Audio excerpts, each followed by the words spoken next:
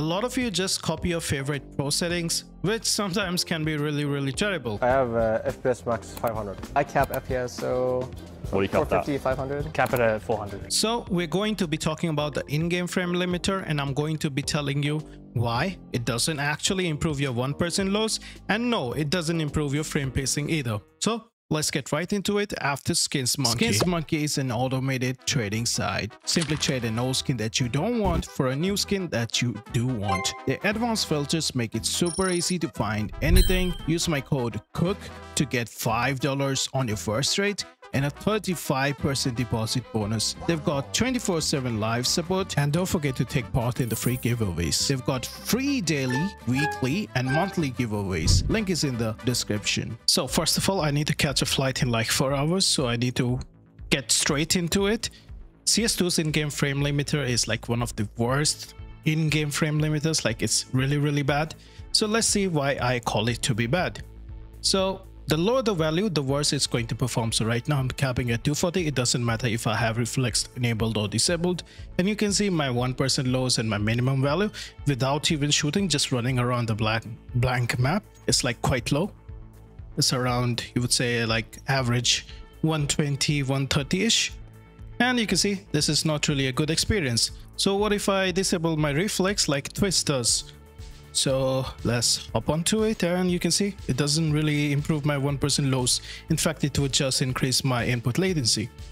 What if I cap it at a higher value? Well, when I start capping things at a higher value, things are generally going to improve because the in-game limiter is not kind of, you know, dictating the frame pacing too much.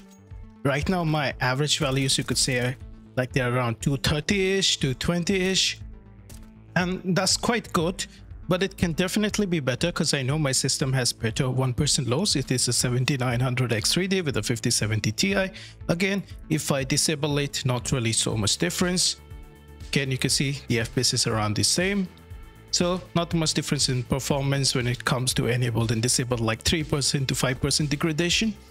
Then let's cap it to about you know, like 999 or 0, like a really high value where your in-game limiter is not really dictating the pace of the game anymore. And let us see our performance now.